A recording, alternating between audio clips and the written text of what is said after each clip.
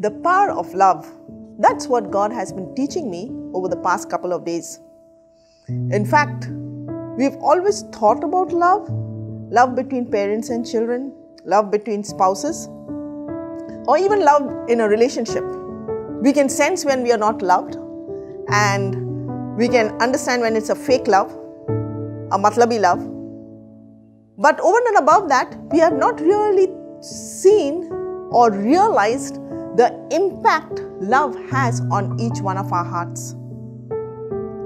Most of us live in a world where love is so corrupt or so demanding.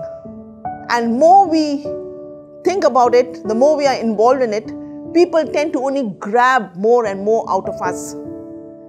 And we feel like we are only giving and not receiving much. In these past couple of weeks, God has been showing me the impact and power of love.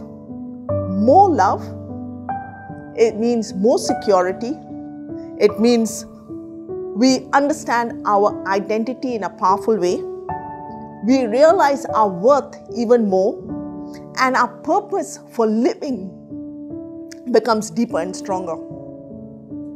1 Corinthians 13 13 tells us that even though there's faith, there's hope, there's love, the greatest of it is love.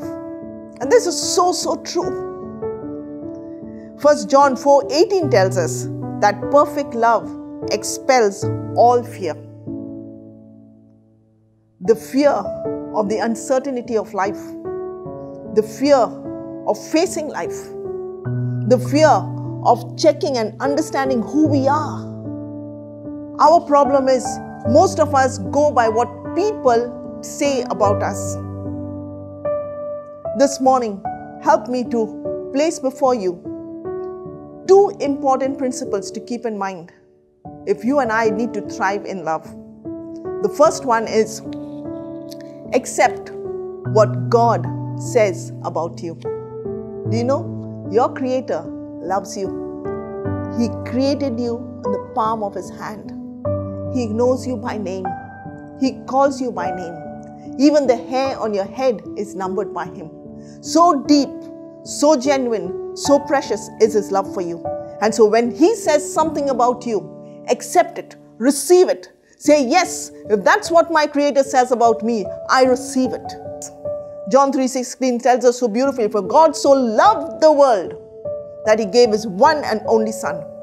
That's the extent of sacrifice God was willing to make for you and me.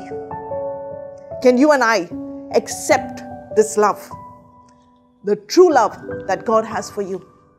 Secondly, to remain in this love is for you and I to practice the principle of forgiveness. The more you forgive and release people, accept at what they can give you. So much if they can give you, receive it graciously. Don't demand for more. Maybe you're upset that your spouse has not been able to love you the way you thought he or she would love you. Maybe you're upset your parents have not been able to love you the way they claim to love you.